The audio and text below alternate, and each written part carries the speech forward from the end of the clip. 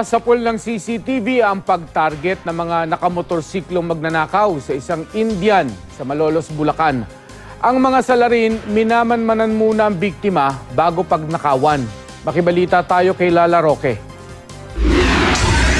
Kuha ang videong ito sa barangay Ligas, Malolos, Bulacan. Makikita sa CCTV na minamanmana ng mga nakamotorsiklong salarin ang isang Indian na nagde-deliver ng kanyang pahulugan sa isang bahay. Paalis na sana ang Indian sa lugar kung saan siya nag-deliver nang bigla siyang tutukan ng baril ng isa sa mga salarin. Wala nang nagawa ang biktima kaya ibinigay na lang niya ang kanyang mga pera at gamit. Agad na tumakas ang mga salarin. Hindi naman namukaan ang mga salarin dahil nakatakip ng panyo ang kanilang mga mukha. Bukod sa mga Indian, may mga nabiktima na rin umanong ilang delivery boy ang mga salarin. Nasa pool din ng CCTV ang mga kaparehong insidente. Patuloy na iniimbestigahan ng mga ito.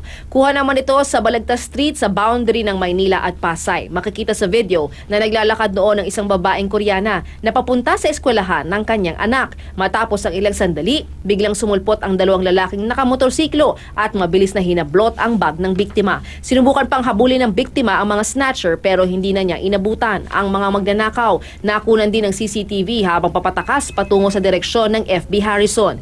Kapwa naka-helmet ang mga salarin at walang plaka ang motorsiklo. Bago maganap ang krimen, nakunan din pala ng CCTV ang mga snatcher sa kabilang kalsada na mabilis ang patakbo. Hinala ng barangay talagang tinarget ng mga magnanakaw ang biktimang Koreana. Bukod sa nababala, nalulungkot ako talaga. Binibiro mo yan ng RIT na yan, ri- riding in tandem.